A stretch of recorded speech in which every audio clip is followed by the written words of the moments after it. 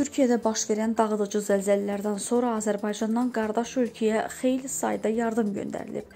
Yardımlar arasında diqqəti çəkən 2-ci Qarabağ müharibəsi zamanı noyabrın 10-da şəhid olan Elgin Abbasının foto şəklinin olduğu bağlamanın təsadüfən zəlzələdən əziyyət çəkən başqa bir şəhid ailəsinə çatdırılması olub. Belə ki, şəhidimizin adından göndərilən bağlama Hakkaridə şəhid olan Cevdet Şişmanın anası Ayşə Şişmana verilib. Qutunun üzərindəki şəkli kəsib götürən ananın bağlamadakı şəkil mənə bəs etdi, dünyam oldu bu şəkli götürüb Cevdetimin yanına qoydum deməsi böyük marağa səbəb olub. Azxəbər.com Türkiyəyə yardım bağlaması göndərən şəhid Elgin Abbasının ailəsi ilə görüşüb və təsadüfən olan hadisə ilə bağlı fikirlərini öyrənib. Şəhidin anası Sevda Cəfərova Türkiyədə baş verən zəlzələ xəbərini eşitdiyi an sarsıldığını, oğlunun şəhid olduğu günü sanki yenidən yaşadığını qeyd edib. Fevralın 6-sında Səhər durduq və eşitdik ki, Türkiyədə zəlzələ baş verib, binalar uçub, insanlar və körpələr dağıntı altında qalıblar. Bu hadisə mənə balamın faciəli xəbərini aldığım gündə yaşadığım hissləri yaşatdı.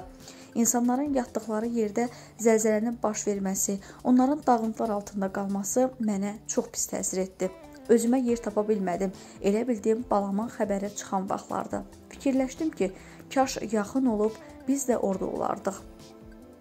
Zəlzələdən əziyyət çəkənlər üçün nə edə biləcəyimi düşünürdüm. Oğlum çox mərhəmətli, hamıya canı yanan idi və onun adından nəsə eləmək istədim. Qərarı aldım ki, hamısına olmasa da orada olan uşaqların bir neçəsinə isti paltar alıb göndərim ki, canları isinsin. Həmin gün Sumqayıta getdim və bir neçə isti geyim, papaqlar, kurtkalar aldım. Geyimin yanında şirniyyat da qoydum ki, bağlamanı açanda yemənin nələrsə görən uşaqlar sevinsinlər.